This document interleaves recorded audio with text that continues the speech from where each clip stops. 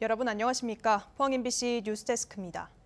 아파트 지하 주차장이 물에 잠겨 대규모 인명 피해가 나고 포항지철소 침수로 천문학적인 재산 피해가 난 것은 포항 냉천 범람이 원인이 됐는데요. 태풍이 지날 때마다 범람하는 냉천, 피해를 반복하지 않기 위한 근본적인 대책이 필요합니다. 이규설 기자가 취재했습니다. 냉천 범람에 대한 주민들의 우려는 현실이 됐습니다. 태풍이 포항을 지날 때마다 냉천 주변은 잠겼고 태풍 흰남노는 너무나 큰 생채기를 남겼습니다. 근본 대책은 무엇이 있을까요? 주민들은 물이 잘 빠져나갈 수 있도록 강폭을 넓히고 바닥은 더 깊게 파달라고 요구합니다. 폭이 이렇게 좁은데 이게 물이 빠져나갈 수 있겠느냐 좀 강을 그 지금 주차장 만들고 했는 자리 이런 걸 파내고 해가지고 좀 넓게 좀 만들어 달라. 즉 통수 공간을 넓혀 달라는 것인데 경주와 포항을 거쳐 동해로 빠지는 형산강이 이 방법을 택했습니다. 부산지방국토관리청은 경주 안강읍의 홍수 피해를 항구적으로 해결하기 위해 경주시 강동면 국당리 형산강 하구의 강폭을 확장하는 공사를 진행하고 있습니다. 사업이 완료되면 형산강 하구 좁은 지역의 강폭이 지금보다 50m가량 더 넓어집니다. 포항 냉천도 형산강처럼 하류를 확장하면 물이 잘 빠질 것 같은데요. 그런데 그게 쉽지 않습니다.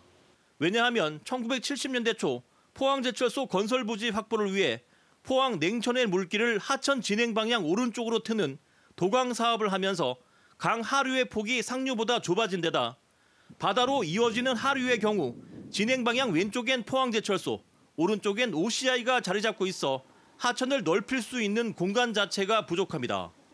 게다가 하류를 무작정 넓힐 경우 만조시 바닷물이 역류할 가능성도 배제할 수 없습니다. 저는 지금 냉천교에서 바다 쪽으로 조금 내려온 곳에 서 있습니다. 만조가 되면 바닷물이 제가 서 있는 이곳까지 치고 올라옵니다. 그래서 부분 준설과 함께 방호벽을 높게 쌓고 물흐름에 방해가 되는 시설물과 교량들을 손보는 쪽으로 복구 방향을 잡고 있는데요. 특히 교량이 장애물 역할을 하면서 주변이 쓸려 나가는 피해가 발생한 만큼 이마트 앞 냉천교는 교량의 길이를 더 늘리고 다리빨이 낮은 인덕교는 인근 원용교 수준으로 교량 높이를 높여 물 빠짐을 개선할 계획입니다. 콘크리트 구조물로 된 교량 신설 구간에는 파임 현상이 유달히 더 심합니다.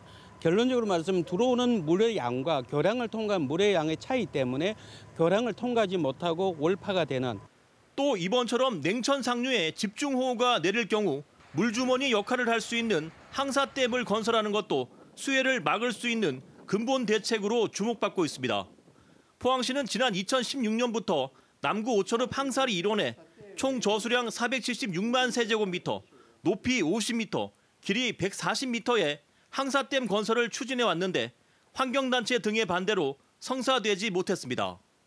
여기는 유속이 빠르고 바다에는 만조가 겹치다 보니 침수가 발생될 수밖에 없기 때문에 항사댐은 반드시 해야만 됩니다. 태풍 흰남노로 인한 냉천 범람으로 많은 사람들이 숨지고 포항제철소가 잠기는 등 막대한 피해가 발생했습니다. 이번에야말로 땜질식 처방이 아니라 시간당 100mm가 넘는 집중호우에도 버틸 수 있도록 근본 대책을 마련해야 합니다. MBC 뉴스 이규설입니다.